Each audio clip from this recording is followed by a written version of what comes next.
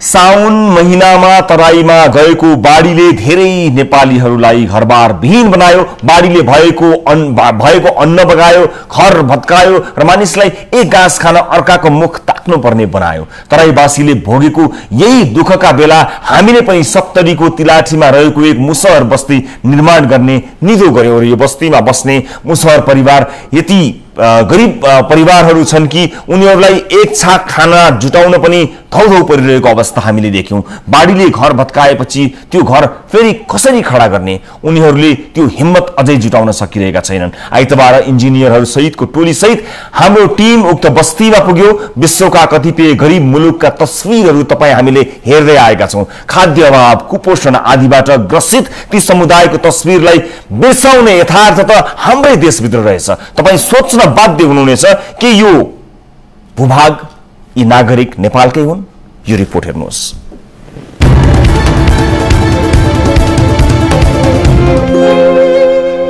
सप्तरीका बाढी पीडितहरूका लागि बस्ती बनाउने योजना बोकेर न्युज ट्वेन्टी फोर टेलिभिजन सिधा कुरा जनतासँगको टिम आइतबार सप्तरीको तिलहाटी कोइलारी पुग्यो यहाँको अवस्था हामीले सोचे भन्दा निकै विकराल छ।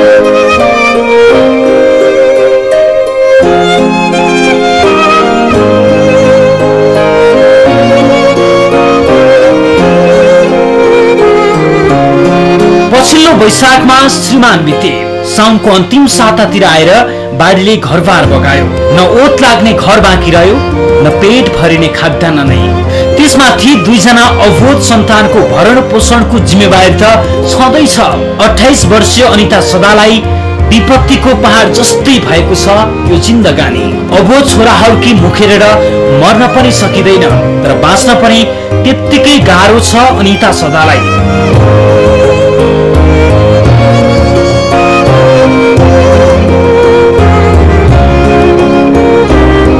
सप्तरीको तिलहाटी कोइलाडी गाउँपालिका चार कोइलाडी स्थित मुसर बस्ती घर भएकी अनिताका ससुरा पनि छैनन्।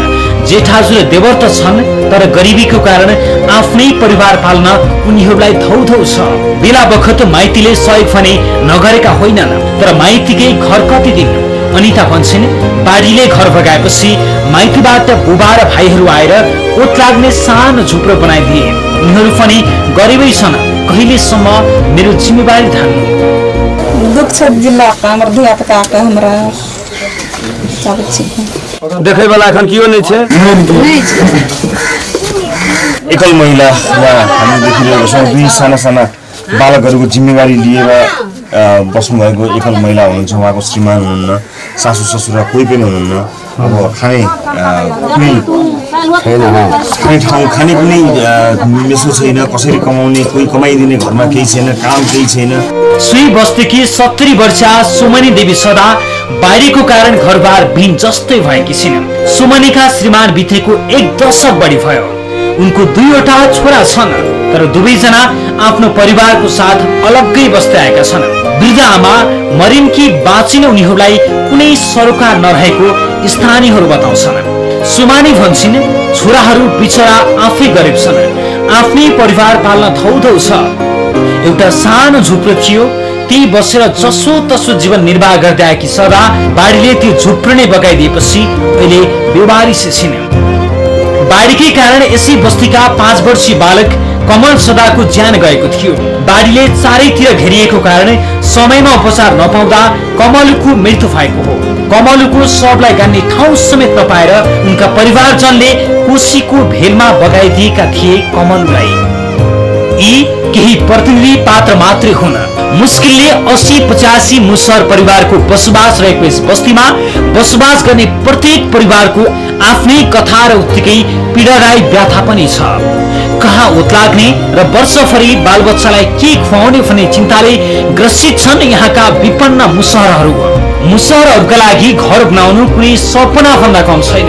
हामीले हाम्रा दर्शकहरूको सहयोगमा उनीहरूको घर बनाइदिने योजना सुनाएपछि उनीहरूमा खुसीको सीमा रहेन।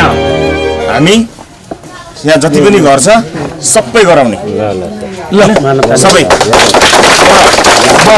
तर एक एक गरेर एकैचोटि त बन्दैन। पाँचवटा दसवटा। न्यूज़ ट्वेंटी फोर सर हमरा सबके बहुत बहुत धन्यवाद दै छी। गरीब के पीड़ित के जब उधार भए रहल छै इनका सबसे से हमरा सबके बहुत अच्छा लग रहल छै के। दलित बस्ती में हजूर एक पत्रकार सब येल छै सीधा कूड़ा जनता संगे करे लग घर बनबे के लिए हजूर उस सहयोग में येल छै। ये- ए- एहन सहयोग हजूर हमरा सबके बहुत पसंद छै। हमरो के दलित बस्ती में मुसा जाइत छी। हमरो के घर बनबै ले आयल। हमरो के बहुत सहूलियत करैया। हमरो के दे दे के बहुत बहुत धन्यवाद। साउनको अन्तिम सातातिर आएको भीषण बाढीले सिङ्गु तिलाठी कुइलाडी गाउँपालिका नै डुबानमा थियो। बाढी गएको झन्डै तीन साताभन्दा बढी बित्न लाग्यो। बाढी प्रभावित क्षेत्रको जनजीवन पनि बिस्तारै सामान्य हुँदैछ। तर कोइलाडी स्थित यस मुसहर बस्तीमा बाढीले दिएको पीडा सहजै अनुभव गर्न सकिन्छ। यो पीडा दिन प्रतिदिन बढ्दो छ। पन्ध्रजनाको परिवार यहाँ एडजस्ट गरेर बस्न बाध्य भएका छन्। र गोरु पनि यहीँ यहीँ हुन्छ। मान्छे यहीँ सा- सम्झनुहोस् यो सानो खटिया। यहाँ कतिजना यी साना साना केटाकेटीहरू छन्। कतिजना यहाँ अठाउनु यस्तो अवस्था छ। त्यस कारणले पनि हामीलाई विश्वास छ। हामीले जुन बस्ती छानेका छौँ साँच्चै नै सही बस्ती छानेका छौँ र विश्वास छ। हामी यसलाई एउटा नमुना बस्ती नै बनाएर दर्शकहरूलाई देखाउनेछौँ। सप्तरीको पुरानो सदरमुकाम हनुमान नगरबाट झन्डै छ किलोमिटर दक्षिण रहेको यो बस्ती तिलाहाटी कोइलाठी गाउँपालिका केन्द्र तिलाहाटीदेखि करिब पाँच किलोमिटर पूर्वमा पर्छ। कोशी नदीको पश्चिम तटबन्ध नजिकै रहेको यो बस्तीलाई जिता कोशी तथा खाँडो नदीको बाढीले बेला बखत डुबानमा पार्ने गर्दछ। पछिल्लो बाढीले गाउँमा झन्डै पाँच फिटसम्म पानी पसेको स्थानीयहरू बताउँछन्।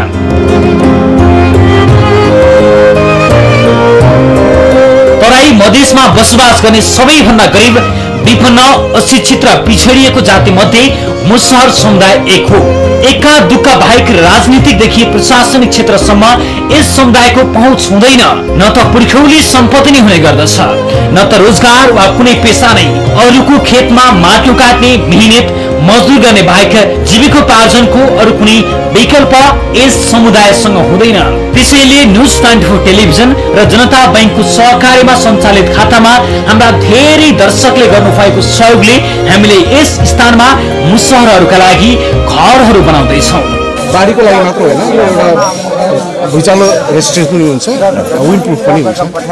भनेपछि ज जत्रो बाढी अहिले आयो त्यो बाढी प्रुफ भैँचालो प्रुफ भइ नै हाल्यो चट्याङबाट पनि फस हुन्छ र हावा हुरीबाट पनि त्यो जोगिन्छ। दर्शकहरू हामी अब यो फिल्डमा आफै आएर सबैसँग सल्लाह पनि गरेका छौँ।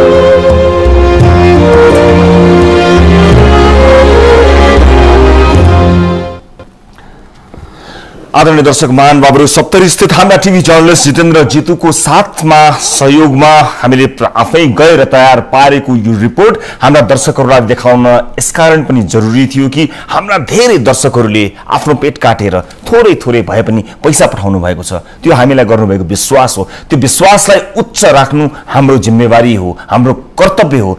तपाईँले पठाउनु भएको एक एक रुपियाँको हिसाब हुनेछ र हामीले यो बस्ती यसकारण पनि छानेका हौँ र हामी आफै पुगेर त्यहाँका सम्पूर्ण कुराहरू गर्ने कोसिस गरेका छौँ। र चरम गरिबीका तस्विर डकुमेन्ट्री देखाएर ठुलो भाँडा थापेर खानेहरूको हुल पनि छ। हामीलाई डर छ कतै यो गरिब बस्ती र यसका बासिन्दाको गरिबी बेचेर खानेहरूमा हामीलाई पनि त्यस्तै सोचिन्छ कि?